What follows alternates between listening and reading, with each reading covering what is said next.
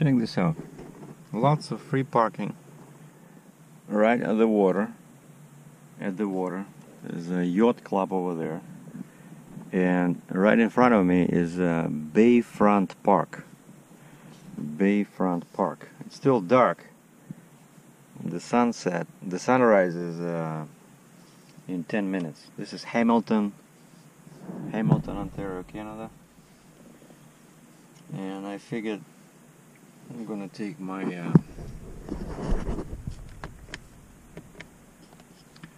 I'm gonna take my uh, new shiny camera D7500 and test it over here.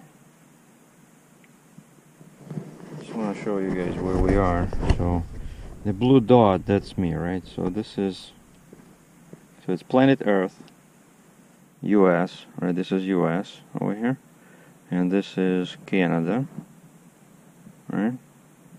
Is Buffalo, New York. So we're about one hour west of Buffalo, New York. It's a town called Hamilton.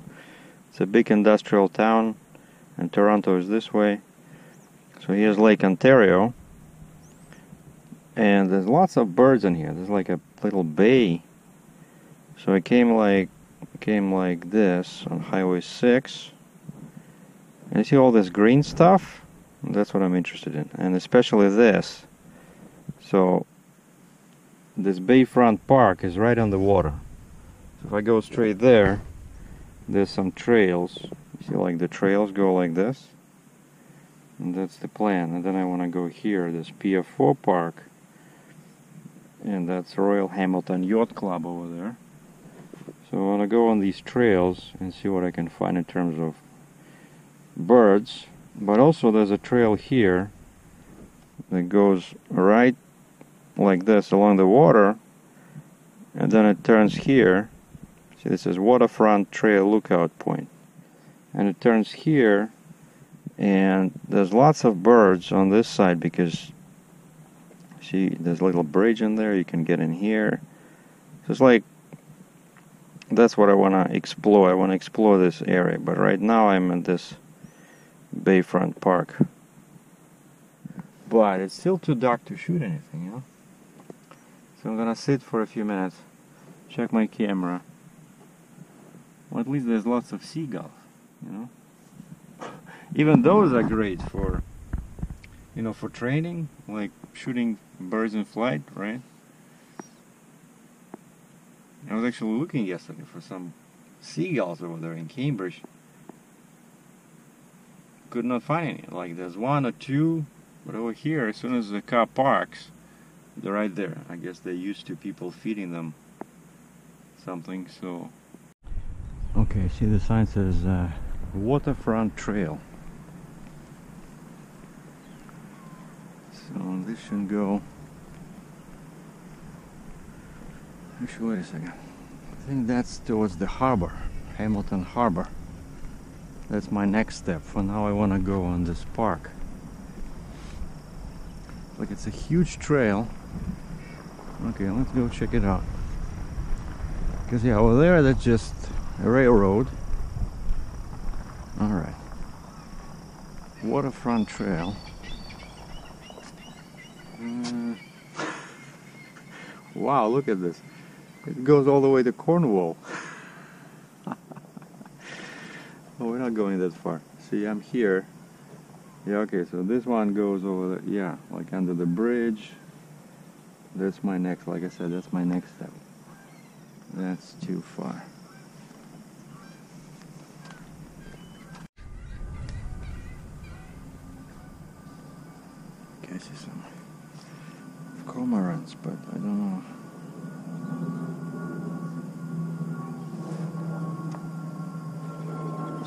Fishing over there. It's still, still pretty dark.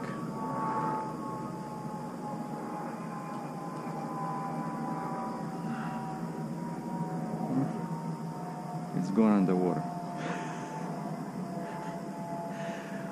I love these birds.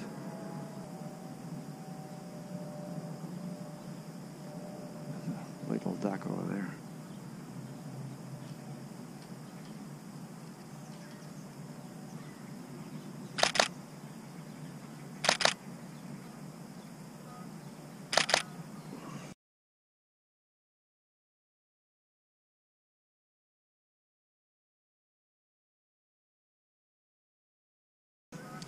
Oh shoot, I forgot to switch on my. Oh, look.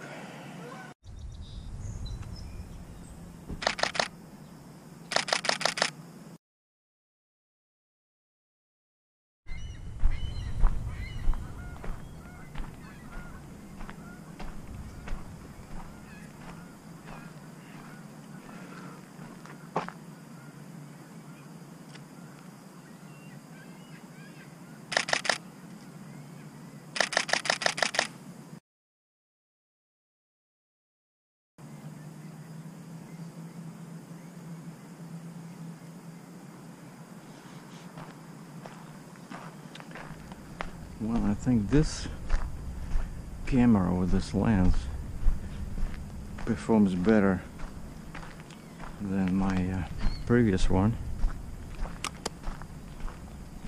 And then D500 and it also helps that I did uh, fine-tuning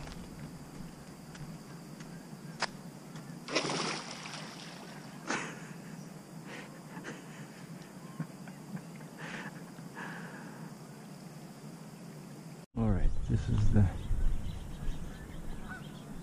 Check this out. This is so cool. And again, I never been here. You know, I travel. I travel uh, in my truck on the Sky Bridge, and I knew there was something like this here because I see people, like I said, walking and biking.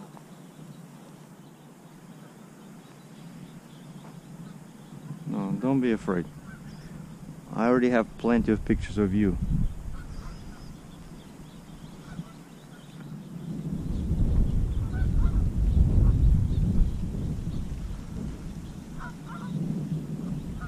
Okay, let's go over there. They even have a beach in here. But it says beach closed for now.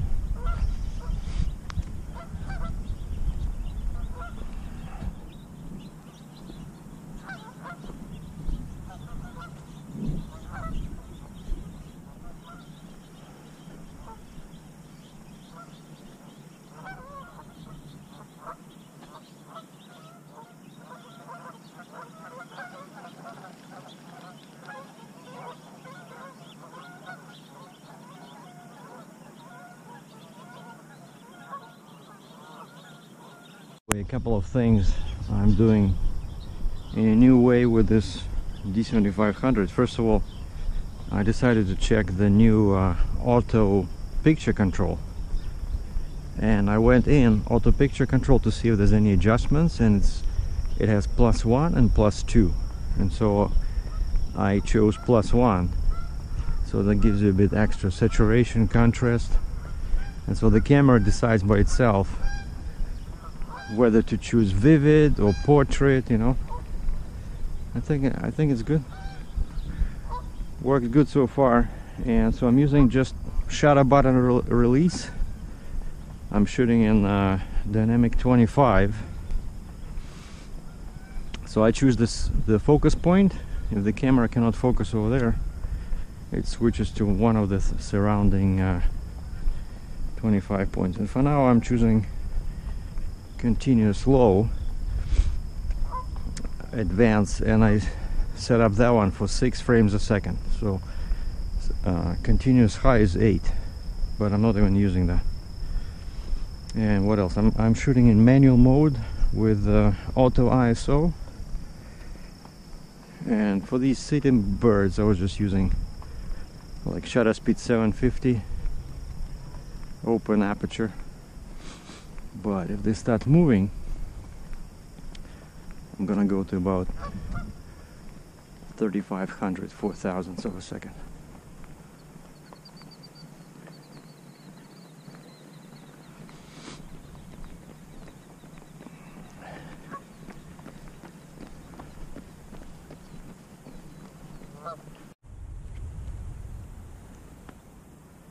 I think that's uh, a killdeer over there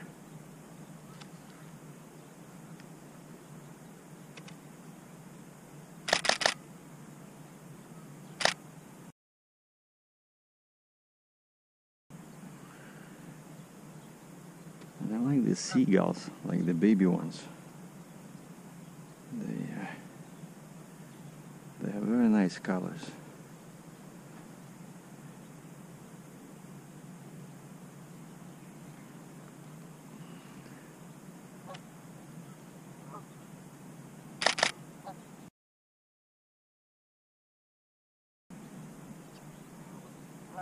Oh, wait a second. Check this out. There's a heron over there near the post. hmm Hiding in plain sight. Wow. Uh-oh. Why are we not sharp?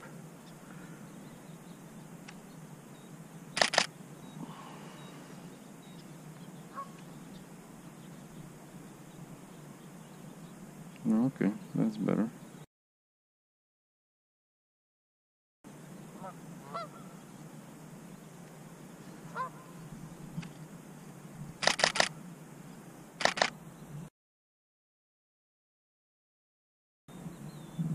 Wow, look at this. Beautiful. And I'm using, uh, what am I using? I'm using, uh, yeah, spot metering. See, works fine. Yeah, I see lots of killdeer. These small birds that are very fast. Okay, let's see if we can get closer to that over there.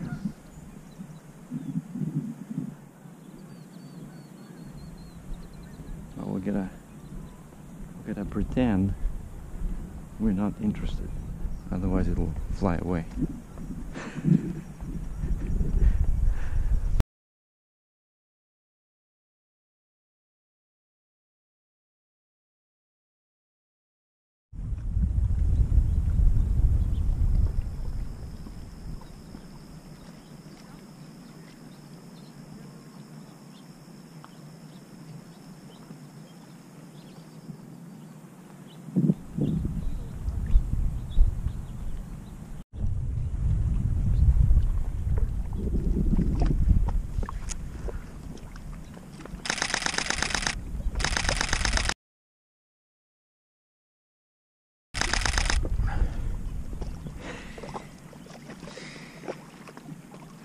That's eight frames a second flare.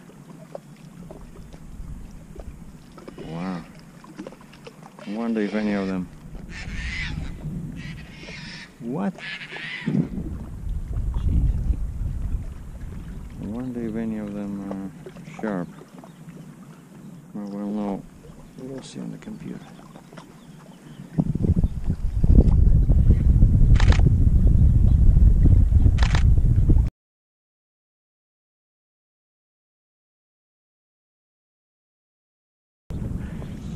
Actually, I just stopped here. I wanted to take a picture of that those boats with a Canadian flag.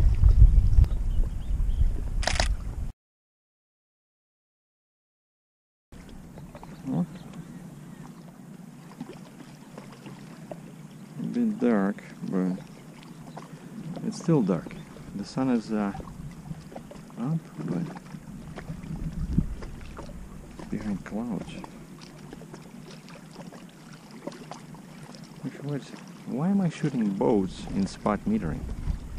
You know? Sometimes I forget. Okay, let's try. I have this uh, FN1 programmed for matrix metering.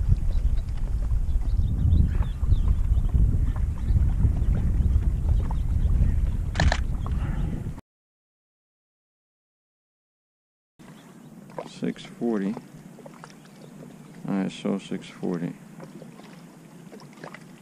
same thing. It didn't change anything. So spot metering was was uh, good too.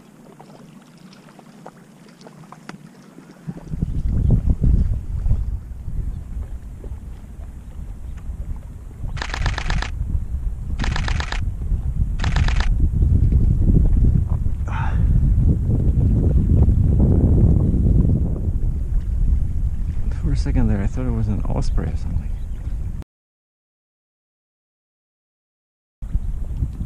Oh, that's definitely not the seagull. But it's still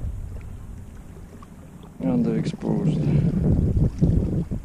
We're still in... Uh, yeah, we're still on spot metering. Okay. One quick impression from using the D7500 instead of D500 is that it's noticeably lighter. You know, I just carry it like this. And uh, basically, I'm glad I switched back. I cannot believe that. I've never been here. You know, living in Canada since 1997. It's 2017 now, so 20 years. This is the first time I'm in this park. And I don't think today I'll go under that bridge because that's too far. So you see I'm here now. So we did a circle around this Bayfront Park. There's the boats over there. So I just want to go on this little road and there's another park nearby called Pier 4 Park and they also have a trail going around.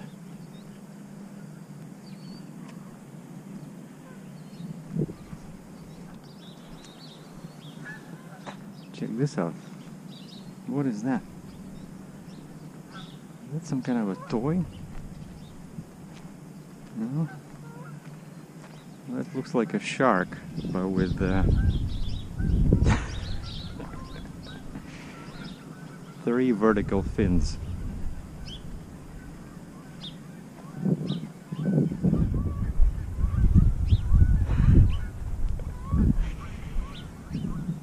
I got it. Just, I guess, people that live on these boats, they, just use it for for swimming around.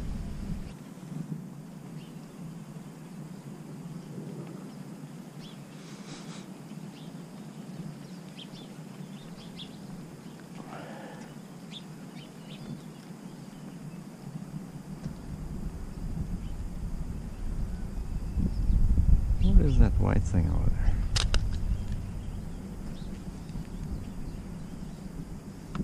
Doesn't look a, like a seagull. Oh, it is a seagull.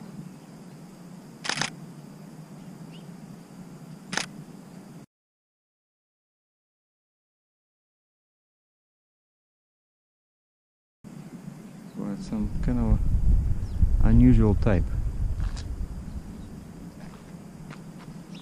I also love uh, love the sound of the shutter on this camera.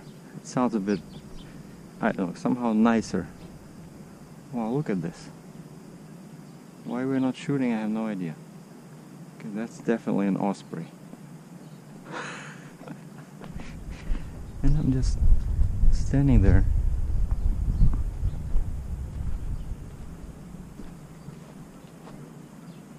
Huh. Where did it go? It's Probably landed in a tree or something. Before I was about to leave, I see a huge heron sitting on the back of the boat. Check this out.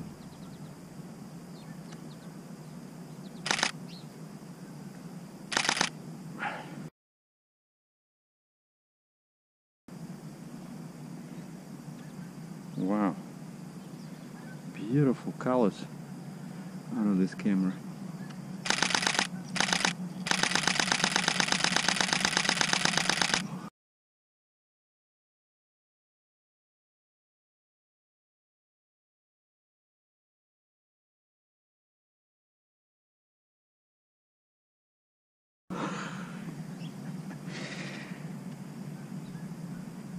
couple should be in uh, at least a couple should be in uh, I forget the name of that bird, but it's, it's not a seagull.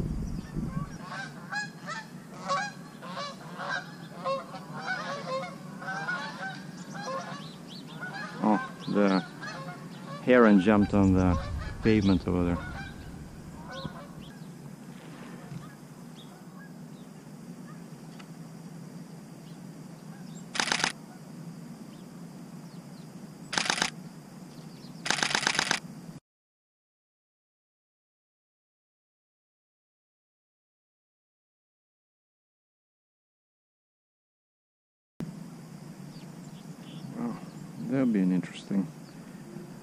I'm just practicing. I know it's just a seagull, but.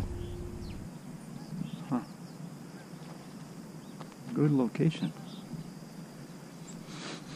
Now to get to the park.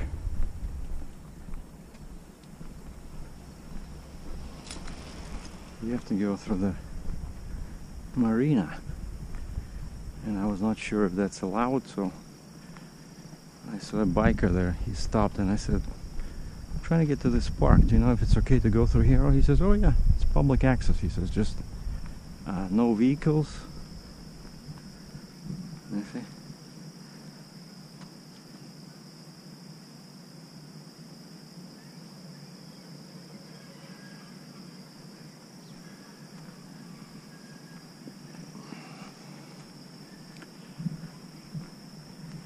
Goose control area.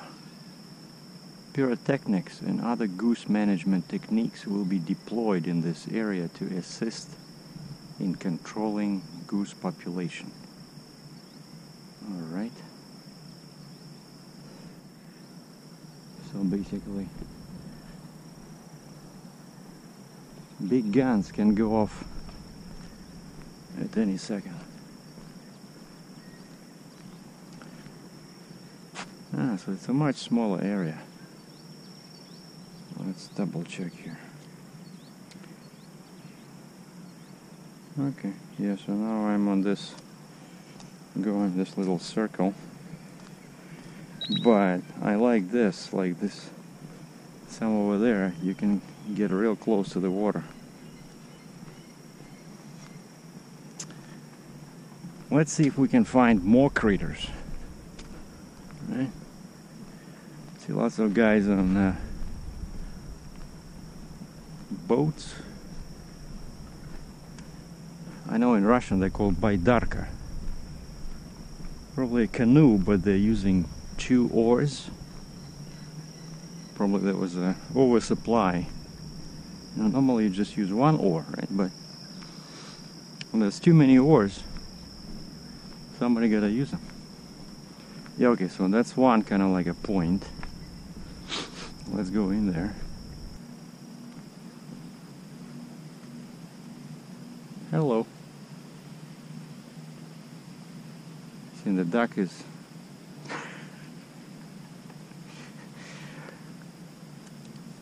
trying to be it, but cannot dive.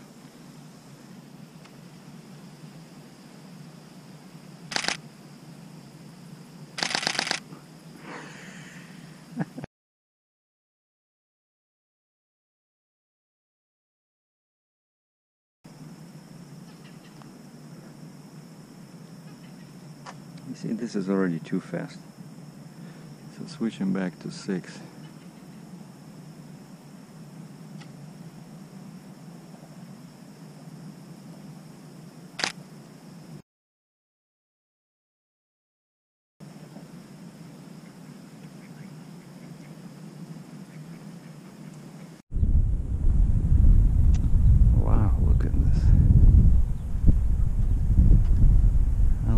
These guys are doing here in Hamilton. For the people, you know, it's all free. Yeah, okay, so that's the other kind of like point I want to go to. And the air is very nice, even though on the other side there's a bunch of steel factories.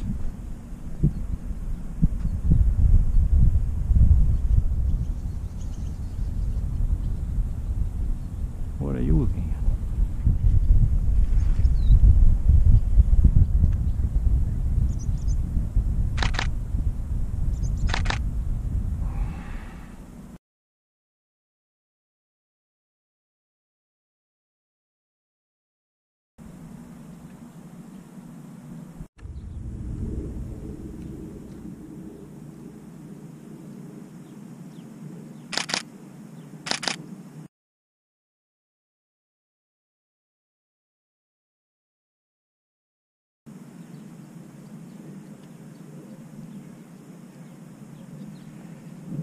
Point is right on the eye. Thank you.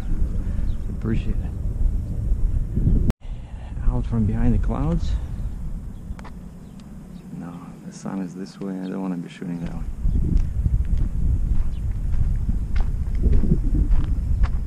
I'm still trying to get more cormorants flying, but they're so cautious, you know.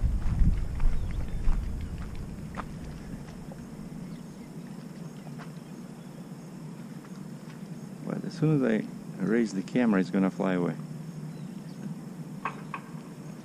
See that one in the water? Alright, I'll leave you alone. I think I should sit somewhere and wait for them to come to me. That would be smarter. Correction, it would be more smarter.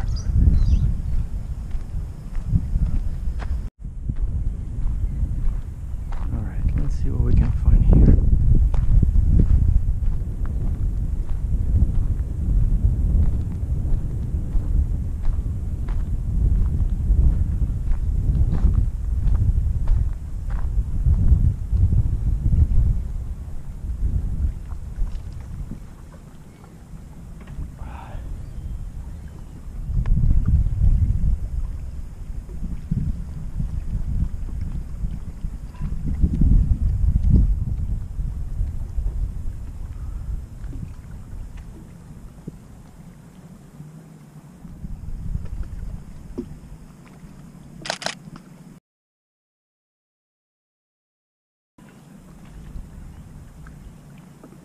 Yeah, I'm using matrix metering.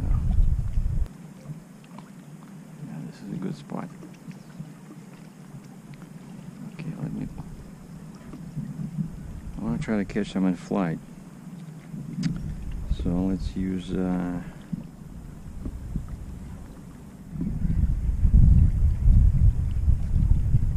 Four thousandths of a second, maybe six thousand. and 8 frames per second. I think I'm gonna switch back to spot metering. I was playing with different settings and matrix did not work, spot metering did not work and there was a stammer on just swimming away and the sun is right behind me turned its head and I got a nice expression and I used uh, plus 0.5 compensation. And check this out You know?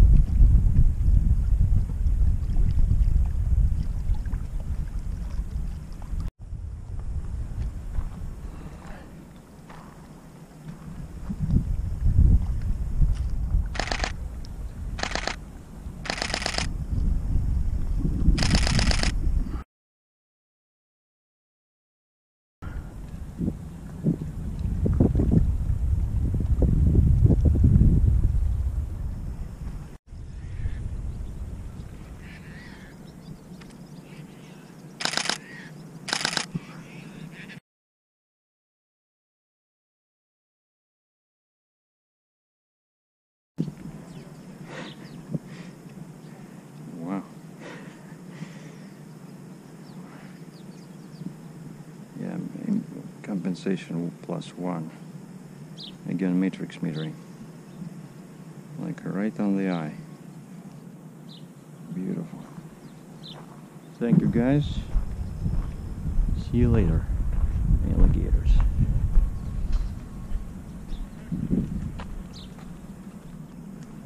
Yeah, I'll come back. But I'm getting hungry since I've been up since 5. Time now is. Time now is. 8.26.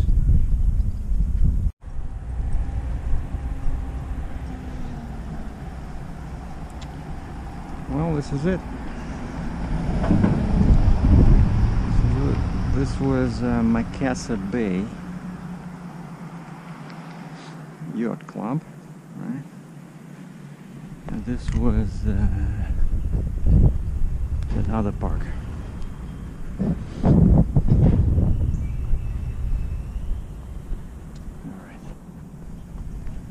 Where's my car?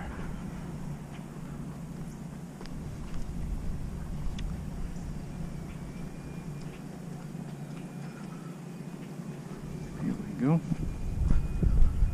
My black Mustang still sits intact, which is good. So yeah, I think I'll come here again. But this is the end of August. So things might change in uh, September. Maybe there'll be uh, uh, different birds.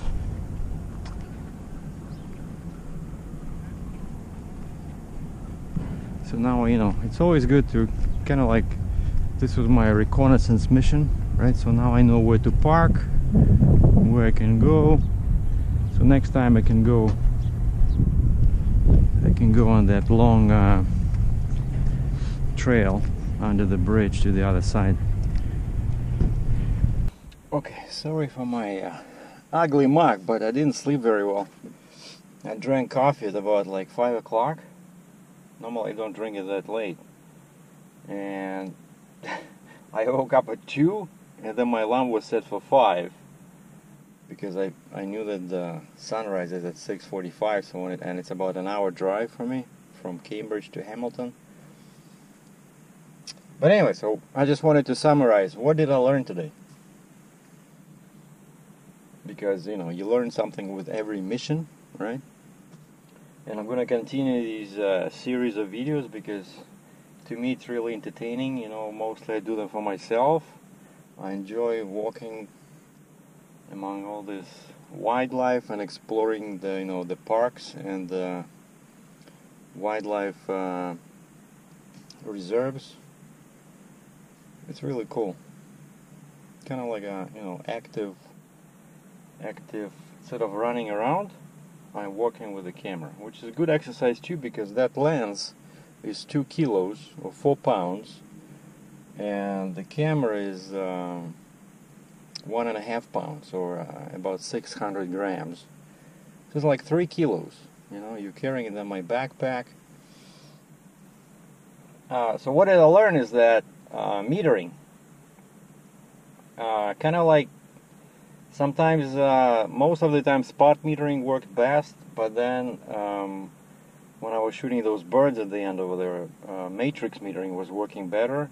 And I switch I was switching back and forth and then I just ended up using matrix metering with uh, exposure compensation like most guys uh, you know have this book by uh, Steve Perry uh, Secrets to Wildlife Photography uh, ebook pretty good book I forget how much I paid, like 10 bucks or something.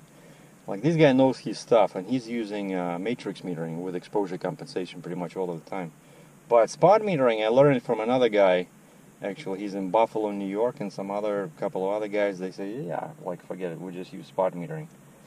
Uh, but I think uh, from now on I'll be using matrix with exposure compensation. You know, like if you see a bird sitting on a branch like those sparrows over there, right, against the sky, like right away, you know, after a few shots, you already know. After you look at the histogram, you already know that you need plus one, you know. Then if it's somewhere very dark, like I find that I never use negative exposure compensation. For some reason, it's always plus. I always need to brighten the picture a little bit because the camera seems to underexpose, but actually, which is a good thing because it uh, it captures more detail, right? Uh, second thing I wanted to say is that I definitely see an improvement compared to a D500 either because I uh, I fine-tuned the lens right? So now the focus seems to be more consistent uh, and I I don't care about the group autofocus you saw that I was using all day I was using uh, D21 dynamic 21 and it seemed to be working fine. I can still move that central point to where I wanted and all the time I used the manual manual mode plus auto ISO. So auto ISO, based on what I learned from uh, what's his name, Tony. Like the guy has a channel with his wife, Tony, and uh, I forgot, but he's uh, he's a big advocate of using uh, the uh, extended low exposure. You know, like on my camera, it's it's 100, but if you look and if you start turning the dial more to the left, you see uh, like L3, L2, L1, whatever. It's like extended super low uh, exposure, which is kind of like artificial, but still, this guy Tony, he was doing all kinds of testing, and he said uh, it's actually beneficial. So, uh, because of this manual ISO, uh, manual mode plus auto ISO, I no longer limit my uh, ISO. I just went all the, you know, as wide as possible from this L1 or whatever, like the lowest setting possible to maximum. And then my shutter speed uh, is at auto, like in that ISO control. You know, sometimes when I use, let's say, aperture priority or whatever, and I set it to all the way to the left, the slowest shutter speed, because the stabilization seems to, to work pretty pretty great on this uh, on this lens. And so the colors look better. Like I really like this um, uh, auto picture control. Like I said, I was using auto picture control plus one with the extra contrast and saturation, but I didn't change the actual values inside that control. I just went, uh, I saw it had only plus one and plus two, or like regular auto, or but it's basically just standard, right? I wanted a bit more, and so I chose plus one, and that seems to work pretty great. And so frames per, per second again I whole morning I have not missed 10 frames a second one bit you know? Like most of the time I was using 6 which is my slow continuous mode. I, I programmed from 3 to 6 right? And then I switched to 8 and it was too too much you know? Like I was trying to capture those was a flock of these uh, birds flying over the water. And eight then you look in the back of the camera you just you know instead of like like I said yesterday in the video instead of two blurry pictures now we have four you know like so I don't know. And this thing I'm pretty sure that I nailed the problem with my uh, earlier images. I really think that shutter speed I mean shutter button focusing uh, works better with uh, moving uh, birds because it activates stabilization. I don't care about battery life. I have a second, all I do is uh, I got a second battery, so they always charged. Uh, but I was shooting with like three hours. I'm not sure how many shots I've taken, but no problem. But I think st stabilization was the issue with my earlier shots because I was using back button focusing. So if you guys are uh, seeing some weird results from your shooting, just try to switch back. If you're using back button focusing, try to switch back to the traditional uh, shutter button and forget all this, you know, nonsense. Um, like there are some advantages, right? But like I was uh, the other day when, like a couple of weeks ago, I was trying to shoot a, a bird on a on a on a branch, and with a shutter shutter button focusing, the camera of course was refocusing each time and I wanted to focus on the branch because I knew I was waiting for the bird to come around.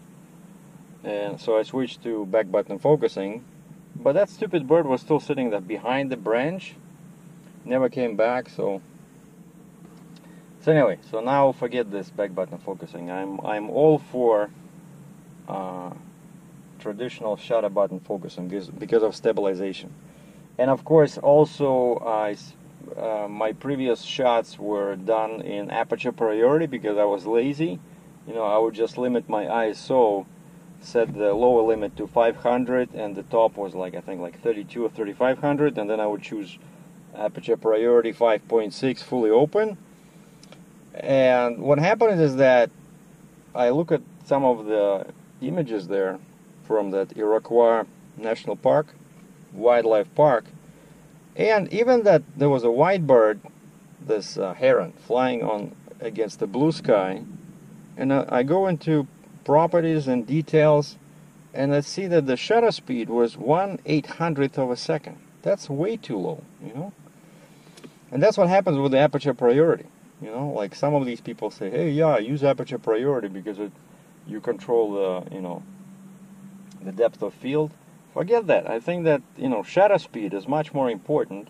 And actually, this guy, Steve Perry, says that when he discusses these modes, you know, aperture priority, shutter priority, uh, he says that actually 90% or like, yeah, he says like 85, 90% of his shooting is done with manual plus auto ISO and that's what I did. This the other thing I changed today is that I was doing that, and when I was shooting flying birds, I made sure that my shutter speed was pretty high. You know, when when I started, the sun was still behind the clouds, and I really like this mode now. You know, so I fully opened my ISO range from L1 to the maximum. I don't care. Like this camera, I do believe is much better at uh, high ISO than D500, just like DxO Mark says and uh, so I don't care about how high uh, the ISO is.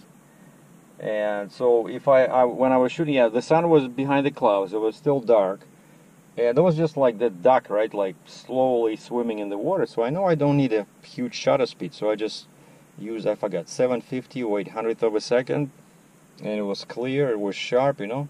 But then the sun came up. Now I have more light, and when I was shooting these birds, I went all the way to like 5,000 even 6,000 of a second, you know.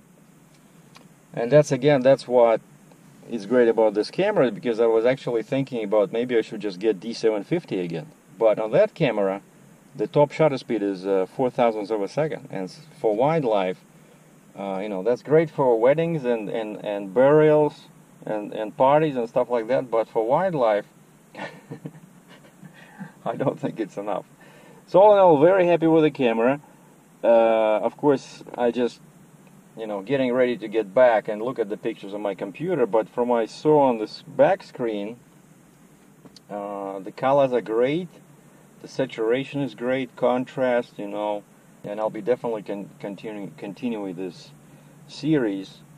So same lens, but now the camera is D7500. So thanks for watching from Hamilton, Ontario. Sergei Dratchev Photo out.